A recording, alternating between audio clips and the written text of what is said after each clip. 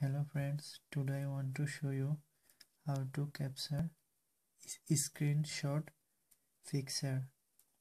Many people don't know how to capture screenshot fixer. So let's start.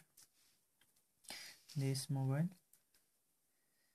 have is easily mm, this button. Power switch button and this button push.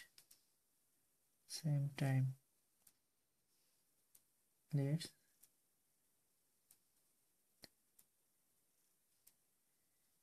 and this button one two. Same time seven screenshot so let's check it saved my gallery.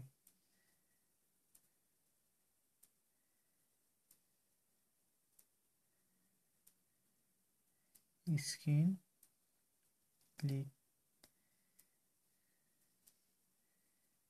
picture.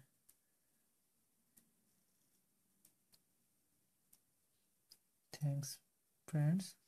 If you enjoy my video please like share and subscribe for my next video. Thank you for your watching